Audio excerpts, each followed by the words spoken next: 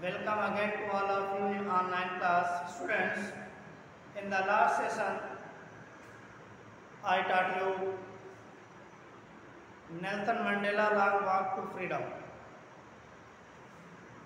Students, yesterday that was related to summary, but today I will explain the chapter Nelson Mandela Long Walk to freedom.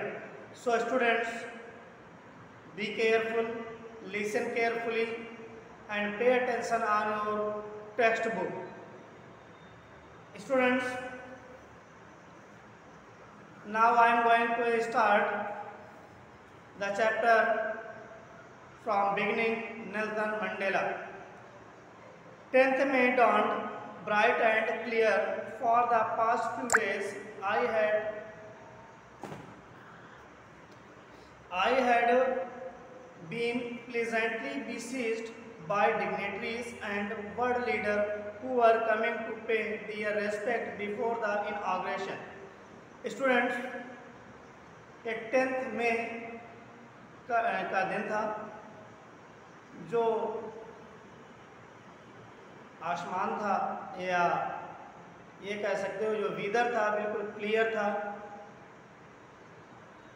Bright weather था। For the past few days पिछले कुछ दिनों से I had been pleasantly besieged मैं लोगों से गिरा रहता था। यानी नेल्सन मंडेला ने डेमोक्रेसी में डेमोक्रेसी लागू करने का निश्चय किया और उन्होंने इसको लागू भी कर लिया। फ्री एंड फेयर इलेक्शन हुआ साउथ अफ्रीका में। जब फ्री और फेयर इलेक्शन हुआ नेल्सन मंडेला को जीत हासिल हुई। वहाँ की पब्लिक ने, वहाँ के लोगों ने नेल्सन मंडेला को एज अ प्रेसिडेंट इलेक्ट किया। इसलिए इलेक्ट होने के बाद ये हमेशा पब्लिक से घिरे रहते थे, लोगों से घिरे रहते थे।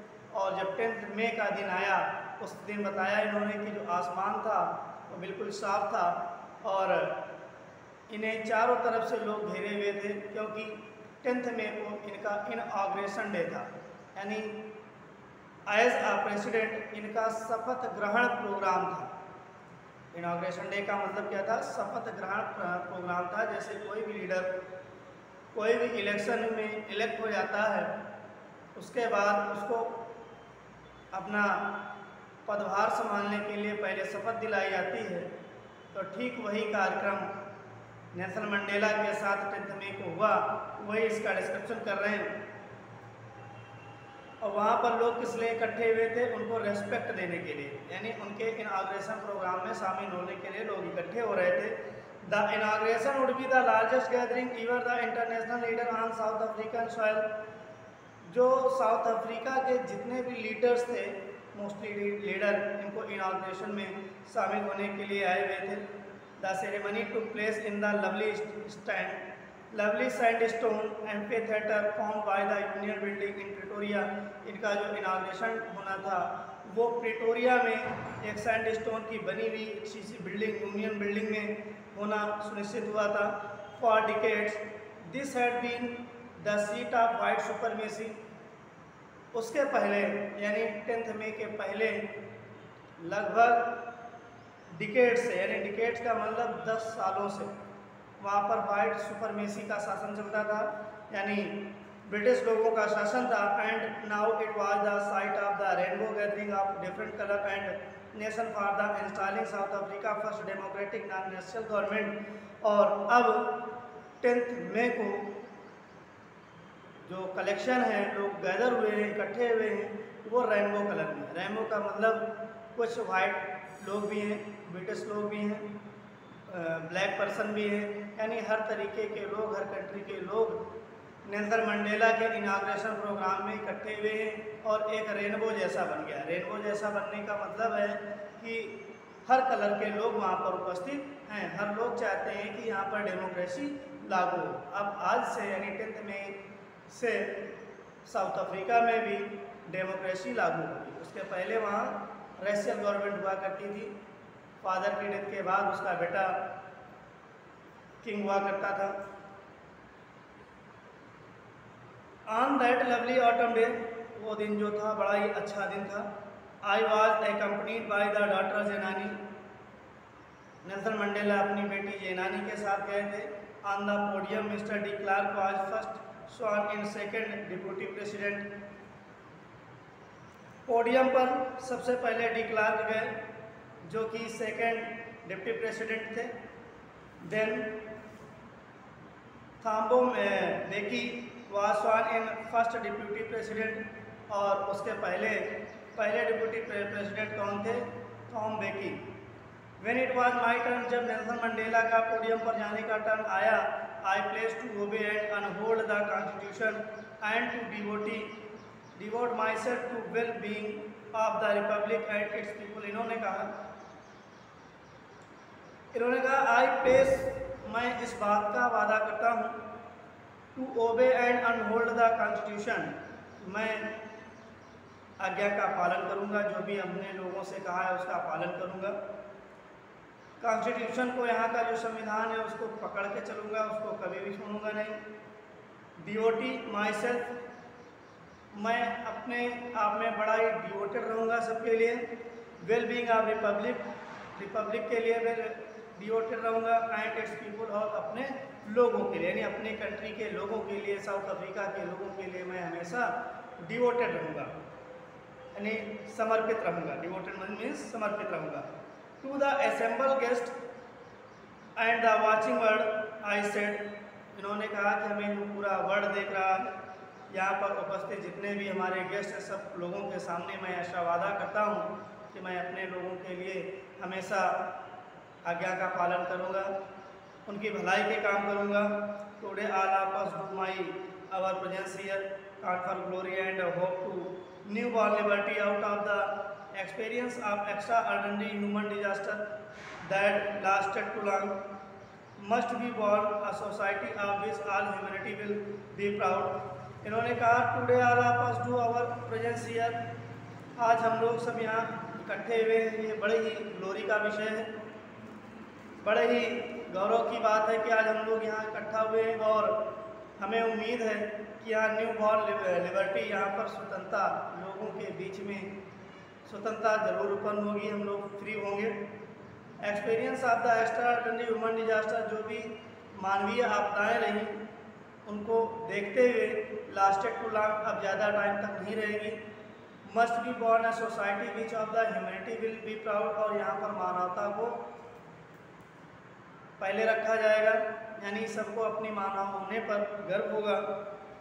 We have we who are outlaw, not so long ago. अब हम लोग आउट ला नहीं होंगे, यानी नियम कानूनों से बाहर नहीं होंगे।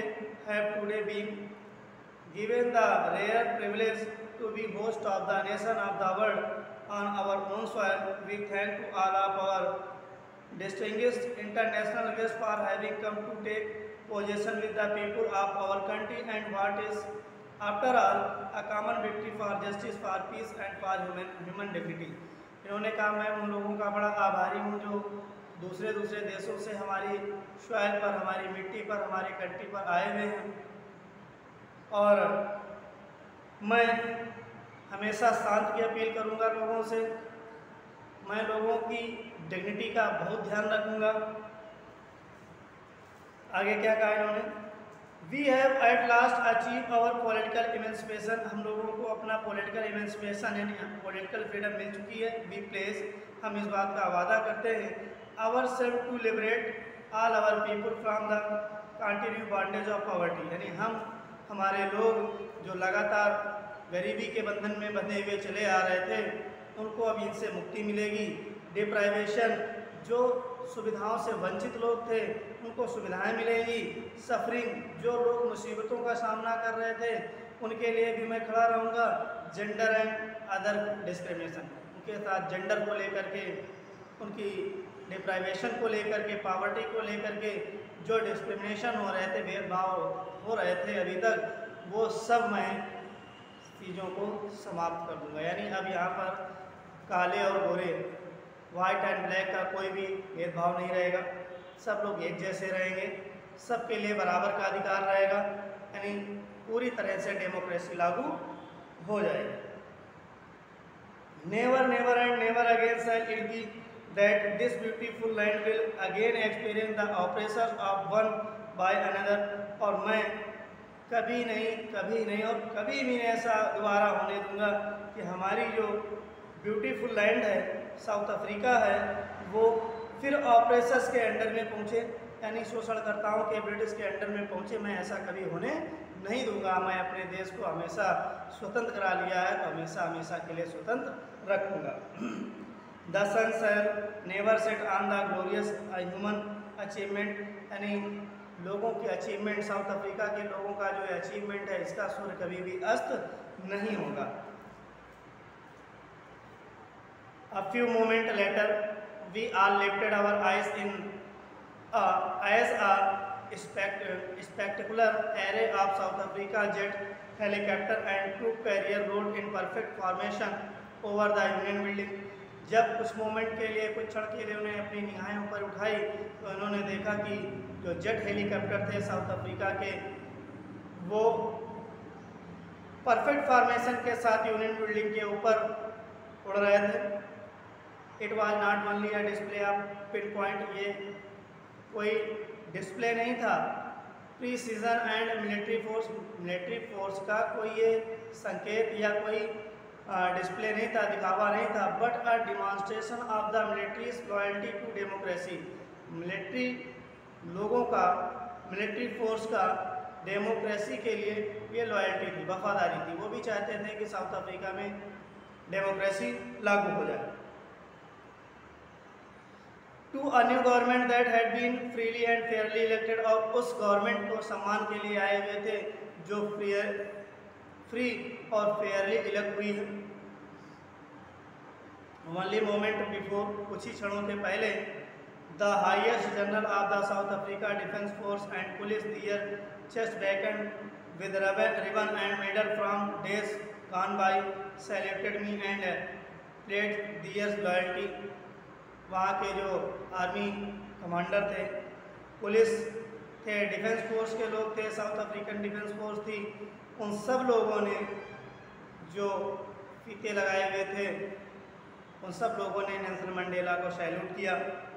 आई वॉज़ नॉट अनमाइंडफुल लेकिन नेल्सन मंडेला उस बात को बिल्कुल नहीं भूले थे। For the fact that not so many year before they would not have saluted but arrested me यही लोग ऐसे थे जिन लोगों ने आज इन्हें सैल्यूट किया डिफेंस फोर्स ने पुलिस ने कुछ ही वर्षों पहले नेल्सन मंडेला को सैल्यूट नहीं किया था बल्कि इनको अरेस्ट कर लिया था क्योंकि उस समय वाइट सुपरमेसी का शासन चलता था। Finally a cavern of Impala jet like a smoke trail of the black, red, green, blue and gold of the new South African flag कुछ ही देर में जो जेट एम्पाला एम्पाला जो जेट था वायुयान था उसमें हर कलर के फ्लैग साउथ अफ्रीका के लिए उड़े। ये उनके लिए बड़ा ग्लोरी का विषय था। स्टूडेंट्स, आज की क्लास सिर्फ़ इतनी रहेगी। अगला जो एक्सप्लेनेशन होगा, वो नेक्स्ट सेशन में होगा। इसको ठीक से पढ़ लें, ध्यान से पढ़ लें और इसकी समरी यानी जितना आपको पढ़ाया गया है, इसकी समरी आप कोशिश करेंगे कि ज़रूर लिख के भेजेंगे।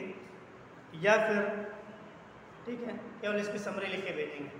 Thank you have a nice day take care आप यू